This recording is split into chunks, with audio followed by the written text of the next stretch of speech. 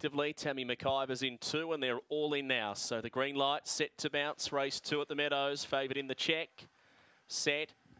And they're racing. Tammy McIver jumped well near the inside. Willow Bell went out fast. Tammy McIver's going to lope up within a length through the first corner. And Yamanu Bell posted wide but gets over to third. They're clear to more boost Rico. And then Eco Bell trying to wind up from Paul Whistler, King Eternal. And Velox Bell at the end of the field. So Willow Bell snuck away, led by two. Tammy McIver, who's trying to hone in. Then Yamanu Bell and Eco Bell, they're both running on. It's still Willow Bell turning the leader. Tammy McIver's closing and late between them. In fact, Yamanu Bell storms out wide.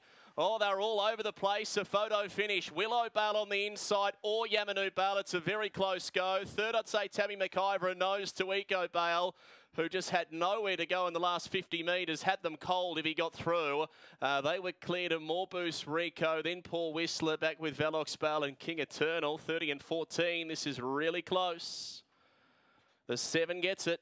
Yamanu Bale wasn't sure where to look turning for home. It looked as if Eco Bale was going to be the one to burst through and win, but the door may have closed. Just raced to Shade Greenly trying to get over heels. And at the end, Yamanu Bale has picked them up in the last hop right down the middle. So it will be number seven gunning down the red. Willow Bale, who was the best back late, just goes down. Number two, Tammy McIver holds down third. And it was the eight, Eco Bale in for fourth placing. Just having a look, you could just see Eco Bale. If he had have stayed on the inside of the leader, he would have won the race, but he tried to get over heels and the run just was not there.